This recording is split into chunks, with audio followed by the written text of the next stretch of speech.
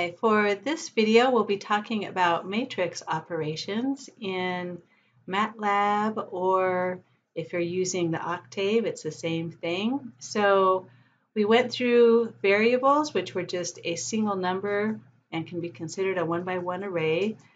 There are vectors, so this is a lot of what you'll use in statics, dynamics, calculus 3 where like you break forces into XYZ components or do cross products for moments. And I have a couple of those example calculations in your quiz. Not that you need to, to know those, so it'll take you step by step, but it'll just show you what some of these vectors are used for. And then if you have more than just a single row or a single column of numbers, so instead of just uh, one kind of a 1D vector, if you have a 2D system of numbers, then we'll call it a matrix, where rows are going top to bottom and columns left to right. And if I want to pick out any element within this matrix, then I can just tell it the row and the column number for where it is. So if I go down three rows and over three columns or something, I can grab different arrays. Okay, so let's hop over into Octave. Let's go ahead and start by making a row of numbers, and I'll call this little vector r, and we'll just do one, two, three. So you can separate the numbers in this row with just a space. You could also separate them with a um, comma but it's probably easier just to put a space in there. If instead of making a row, I want to make a column of numbers, I would do that with a semicolon. So you can see they're going in a column instead of a row now. Um, let's see, if I want to make a maybe a three by three, so something that has rows and columns, so I can put the first row in here, and then the second row, and then the third row. And then if I want to grab a particular element out of that, I can just put the um, row and column of the element I want to get. So if I go down two and over three, then I'm going to get that sixth element in there. Okay, let's say I have two vectors that have, say, x, y, z components in them. If you put a semicolon at the end of a line, that's going to suppress the output for that line. So I'm just going to fill in a couple of random numbers. So now I have these two vectors and let's say we want to do the dot product. A lot of times figuring out an angle between two vectors, you can use a dot product for these. So we'll just say, what is the dot product of those two vectors? So that would be 1 times 4 plus 2 times 5 plus 3 times 6. So it does x times x, y times y, z times z. You can also do the cross product. So this is used for things like finding moments or um, R cross MV, angular momentum. There's a lot of applications for cross products. That's finding the perpendicular piece of two vectors. So the sine of the angle, so cosine. If I want to know the length of a vector, I can simply say norm and that would be the same. So remember our vector m was 1, 2, 3. I could also do square root of 1 squared plus 2 squared plus 3 squared.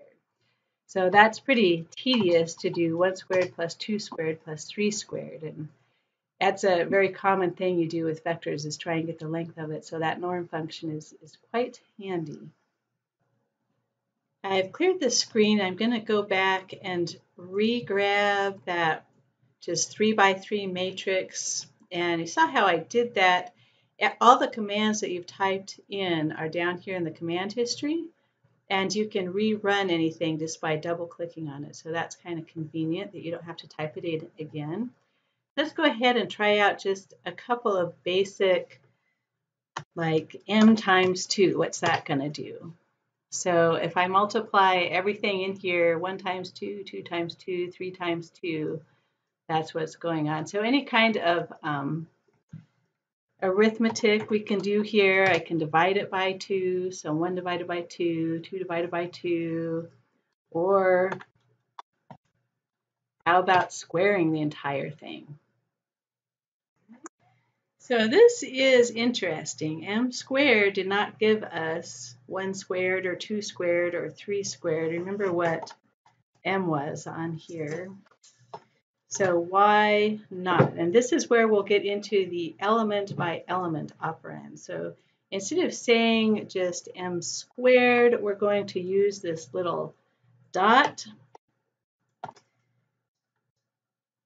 And this will um, go through and square each individual element here. So we have 1 squared, 2 squared, 3 squared. So that, that little element by element dot comes in handy. We can then, um, let's, what would happen if I subtracted the matrix from one another? Then you get the zero matrix. Or if I divide it by itself, then you get a bunch of ones. So try out that unit element by element operand. Last little bit, let me go through a couple of unique matrices. There's the um, identity matrix. So if we say EYE, let's make a, a 5 by 5. So this gives us a diagonal of 1. For all of these, try out the um, help feature on Octave. So if you type in help and whatever function you have, it will give you some examples and explain the different ways of using it. We won't get into classes now, but for this one, it's going to make a square matrix, so you probably don't have to put in the rows and the columns for this. It's going to just assume that it's square, but if you want to put in rows and columns, you'll get the same thing. So there's some, some kind of information on different identity matrices. We can also make a um, matrix with just ones. So if I type in ones, I get a whole bunch of ones, or if I want some kind of a number, then I can just um,